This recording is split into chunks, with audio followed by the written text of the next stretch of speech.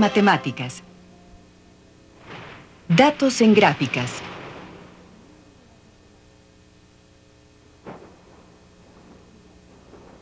Los humanos desde sus orígenes siempre han tenido la necesidad de entender las fuerzas que actúan sobre nuestro planeta. Estas fuerzas se pueden medir a través de la recopilación de datos. Los datos nos ayudan a contestar interrogantes, interrogantes acerca de nosotros mismos y nuestra recopilación de datos sean de utilidad, previamente tenemos que decidir cuáles son las preguntas que necesitamos contestar. Durante 20 años, la Universidad de Anglia del Este en la Gran Bretaña ha enviado estudiantes a la playa para inspeccionar el índice de erosión en la costa. 1.328. El conjunto de datos será de utilidad a las autoridades locales para decidir qué parte de la franja costera se debe proteger y cuánto dinero se debe gastar en construir barreras para impedir la entrada del mar. Cuando usted recopila información, es probable la pérdida de algún detalle. Los datos de las distancias e inclinaciones de la playa son registrados en la computadora, pero esto no es suficiente para percibir los efectos de la erosión sobre los lugares donde habitan las personas. Para lograr estos objetivos, usted necesitará recopilar más datos. Las tablas contienen toda la información que se considera necesaria, pero no siempre es fácil visualizar los resultados. Para poder ver otras características del objeto de estudio, será de gran utilidad usar un diagrama o gráfica.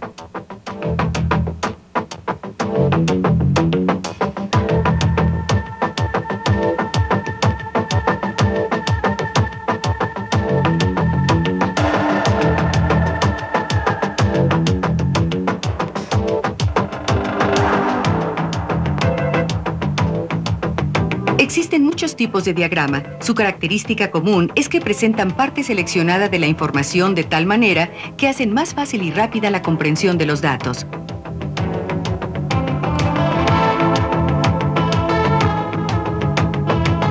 Este tipo de gráfica es conocida con diferentes nombres, gráfica de bloques o gráfica de columnas, pero comúnmente se conoce como gráfica de barras. Ventas de cereal para desayuno.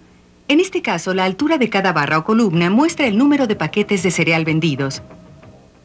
Esta es una gráfica de barras verticales, pero exactamente la misma información pudo haberse presentado como una gráfica de barras horizontales.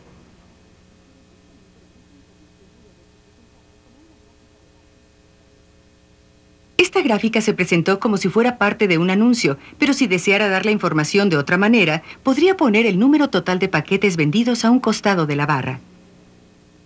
Para otra presentación de las ventas, se podría utilizar el dibujo de un paquete donde cada uno representa 10 millones de paquetes vendidos.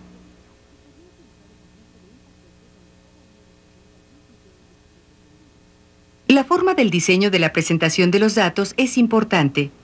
Para presentar una fracción de la venta total, se puede utilizar una gráfica circular, también llamada gráfica de pastel. Cada sector del círculo muestra el porcentaje de ventas para diferentes cereales.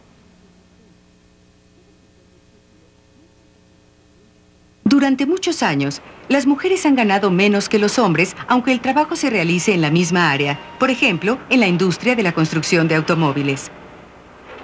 Suponiendo que usted pudiera recopilar los datos, ¿qué tipo de diagrama utilizaría para mostrar los ingresos de hombres y mujeres en industrias de diferentes países?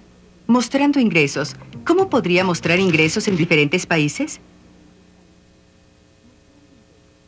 Sueldo anual 1986 en industrias de construcción de automóviles. Estas columnas muestran el ingreso promedio medido en libras de hombres en seis diferentes países, Bélgica, Dinamarca, Alemania, Francia, Chipre y Hong Kong. Y esta es la gráfica correspondiente a mujeres. Si las colocamos juntas, tendremos una gráfica de barras dobles. En cada caso, las mujeres ganaron menos que los hombres, pero como podrá ver, fueron relativamente más bajos en Bélgica en el extremo izquierdo de la gráfica que en Hong Kong en el extremo derecho.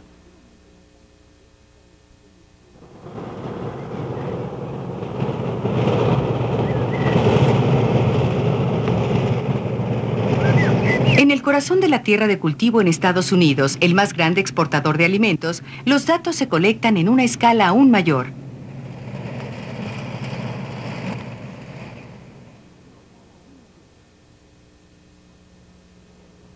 trigo es el grano principal utilizado para el consumo de alimentos a través de todo el mundo y para la industria del trigo en Estados Unidos, los datos de la producción anual son cruciales para la planeación de la política alimenticia.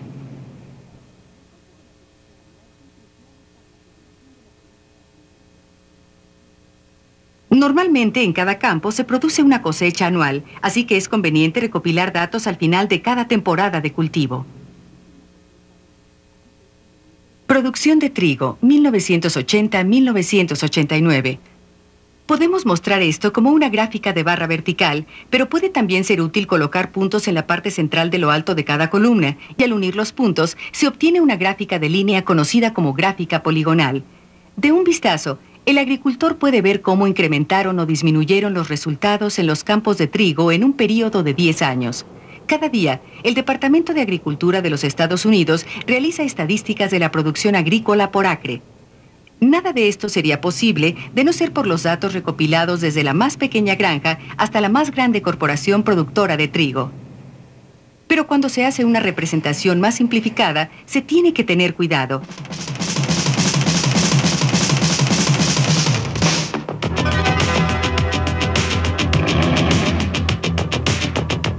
El fútbol americano es un negocio de millones de dólares.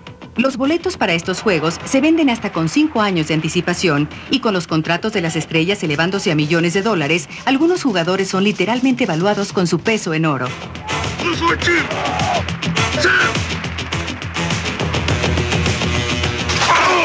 Proteger a los jugadores de lesiones significa para los empresarios proteger su inversión, ya que el fútbol americano es duro, muy duro.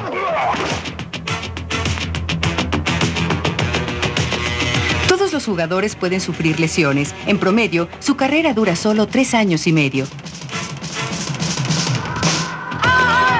Así que es crucial que el dinero ingrese a través de televisión, publicidad, patrocinio y lo que pagan los espectadores.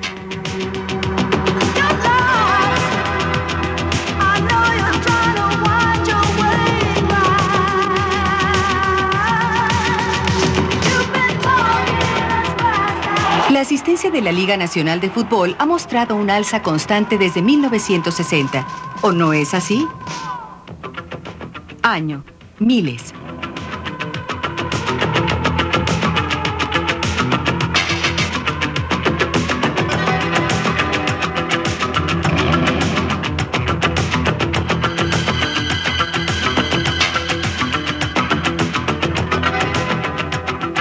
En efecto, la asistencia en los Juegos de la Liga ha ido en aumento.